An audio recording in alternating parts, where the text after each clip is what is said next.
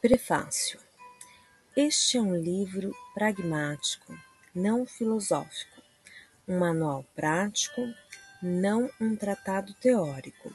Destina-se a homens e mulheres cuja necessidade mais premente é ganhar dinheiro.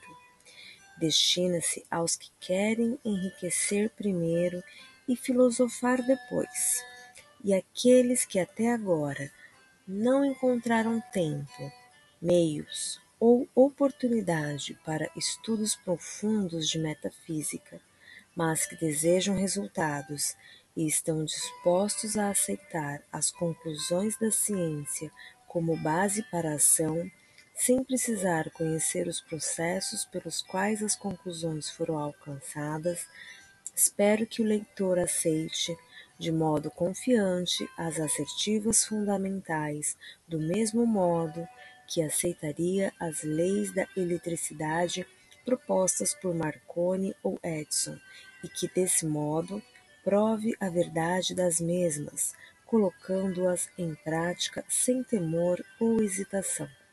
Qualquer homem ou mulher que faça isso certamente ficará rico, pois a ciência que aplicada é exata e não falha.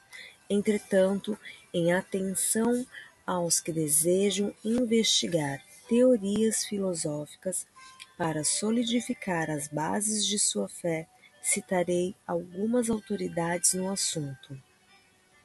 A teoria monística do universo, que defende que um é o todo e o todo é um, que uma substância manifesta-se como muitos elementos aparentes do mundo material é de origem indiana e há centenas de anos vem conquistando o pensamento do mundo ocidental.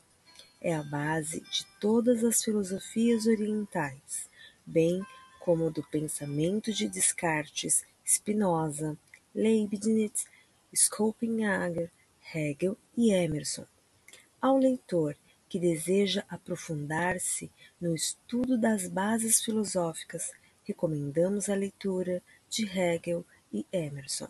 Neste livro, optei pela franqueza e simplicidade do estilo, num esforço para ser compreendido por todos. O plano de ação descrito, traçado a partir da filosofia, foi exaustivamente posto à prova e venceu o teste supremo da experimentação prática. Funciona. Se você quer saber como chegamos às conclusões apresentadas, leia os autores mencionados anteriormente.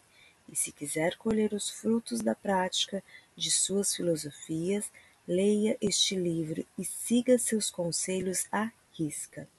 O autor.